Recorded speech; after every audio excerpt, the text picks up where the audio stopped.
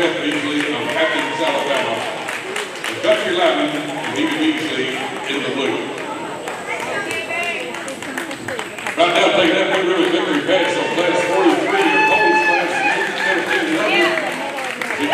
17 is the country lineman, Beasley driver for Beth Beasley of Athens, Alabama on the blue ribbon Ride this evening.